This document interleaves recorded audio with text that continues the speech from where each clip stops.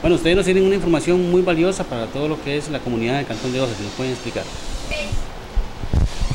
Buenos días. Sí, nosotros este hoy es un, día muy importante para el área de salud de OSA porque da inicio lo que es la, eh, la campaña de vacunación contra influenza o para que entiendan un poco mejor, este es eh, para prevenir lo que es la gripe. Entonces queremos invitarlos a todos para que vengan a vacunarse. La vacuna va a estar en todos los CEBAIS del cantón, en los 10 CEBAIS y este, los que están abiertos de lunes a jueves de 7 a 4 y los viernes de 7 a 3. Eh, ¿Para qué se requiere la vacuna? Bueno, la vacuna se requiere para, como les dije, para prevenir la, la gripe. Todos los años es importante aplicarse esta gripe porque los virus cambian. Entonces, es, por decirlo así, dura la efectividad de un año. Este año el cantón ha sido privilegiado porque tenemos 10.200 eh, dosis de vacuna aproximadamente para aplicarles a quienes, a todos los niños menores este, de dos años, de seis meses a menos de dos años y todos los niños de seis meses a menos de 10 años que tengan también algún tipo de riesgo. Las embarazadas es una población muy importante porque vamos a proteger tanto a la embarazada como al bebé. Entonces todas las embarazadas sin importar la edad gestacional de, ellas, ¿verdad? Tenemos la población de 2 años a 59 años también con algún tipo de, riesgo, asma, obesidad, hipertensos, diabéticos, eh, cardiópatas, personas con algún tipo de trasplantes, inmunosuprimidos, eh, todos los, los, funcionarios de salud también vamos, estamos expuestos a que nos den estas enfermedades porque tenemos que ver los, los pacientes, entonces tenemos, también vamos a estar protegidos. Eh, le hacemos un llamado a toda la, la población laboral porque a veces por sus todas sus responsabilidades en el trabajo no asisten a aplicarse la vacuna, entonces es importante que lleguen porque están en contacto con todas las personas que llegan a sus establecimientos, entonces los invitamos a que se vengan a vacunar. La vacunación, como les dije, inicia hoy y termina hasta el 5 de junio pero no queremos que se queden hasta el final para venir a vacunarse, porque entre más rápido vengan, eh, más van a ser protegidos, ¿verdad? Porque sabemos que con estos cambios de clima nos tiende a dar mucha gripe, muchos resfríos y la vacuna nos protege. No significa que por aplicarnos la vacuna no nos va a dar gripe. Posiblemente sí nos vaya a dar, pero nos va a dar de una forma, este, digamos, menos fuerte.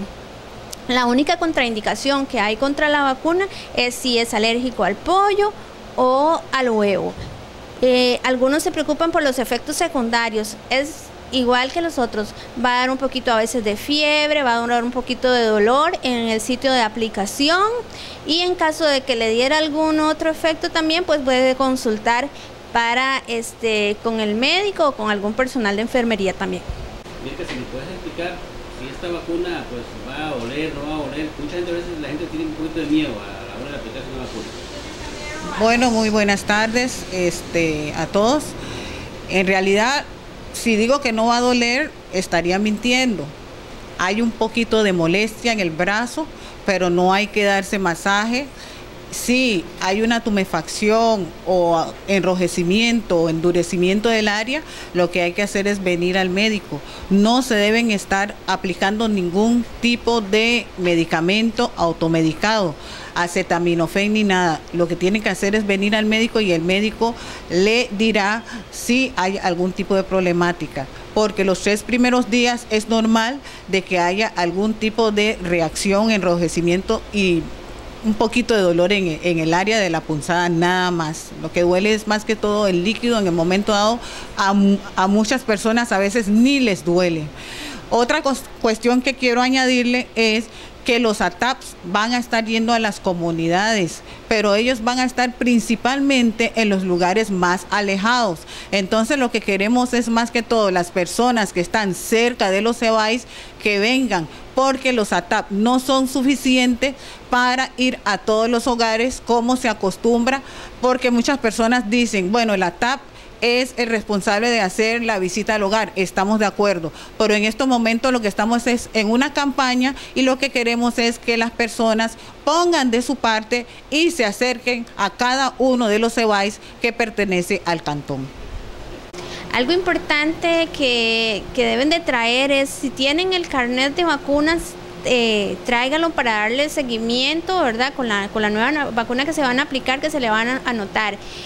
Si no tuvieran este carnet se les va a confeccionar uno, el cual deben de guardar este, en un lugar seguro, ejemplo la billetera. Este, esto es prácticamente como su cédula. ¿Por qué? Porque si ustedes tienen algún accidente o padecen de alguna enfermedad, en algún momento les van a pedir el carnet de vacunas y ahí lo van a tener. Ejemplo, una persona que es diabética es importante que lo porte porque si en algún momento se hace una herida o tiene este, alguna situación especial que no le tengan que repetir las vacunas si ya las tiene. Entonces recuerden, el carnet es como también otra cédula de identidad porque ahí están las vacunas se les aplica este, cada vez que corresponde. Gracias.